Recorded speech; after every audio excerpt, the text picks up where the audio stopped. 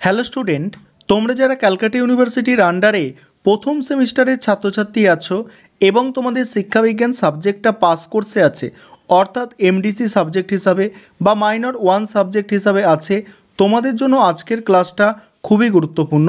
আজকের ক্লাসে তোমাদের শিক্ষাবিজ্ঞান সাবজেক্টের লাস্ট মিনিট সাজেশন নিয়ে আলোচনা করব।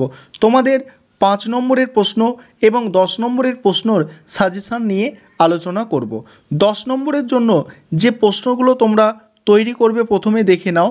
আশা রাখি এই সাজেশান থেকে তোমরা একশো শতাংশ প্রশ্ন কমন পাবে।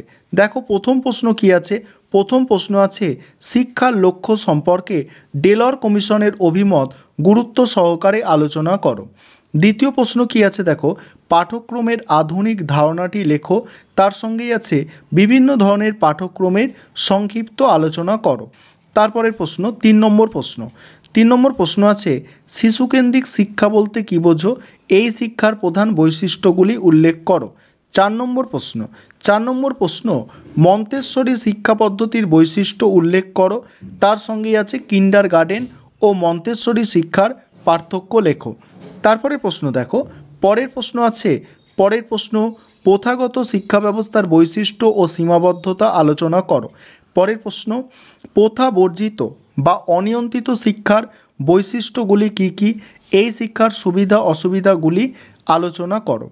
পরের প্রশ্ন, সাত নম্বরের প্রশ্ন দেখো, শিক্ষার শিক্ষার ব্যক্তিতান্ত্রিক, এটা ব্যক্তি হবে, ব্যক্তিতান্ত্রিক এবং সমাজতান্ত্রিক লক্ষ্যগুলি সম্পর্কে আলোচনা করো, এর মধ্যে কোনটি বেশি গ্রহণযোগ্য? পরের প্রশ্ন আছে, যোগ দর্শনের মূল নীতিগুলি কি? আধুনিক শিক্ষায় যোগ দর্শনের ভূমিকা লেখো।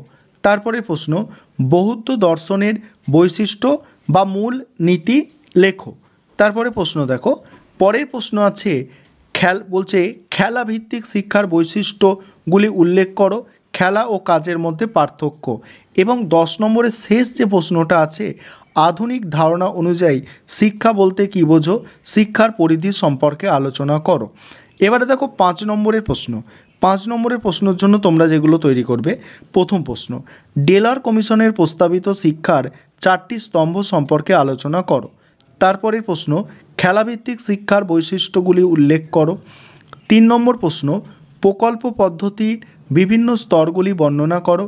চার নম্বর কিন্ডার গার্ডেন পদ্ধতি ও মন্তেশ্বরী পদ্ধতির তুলনামূলক আলোচনা। পাঁচ নম্বর প্রশ্ন, শিশুকেন্দ্রিক শিক্ষার বৈশিষ্ট্যগুলি উল্লেখ করো।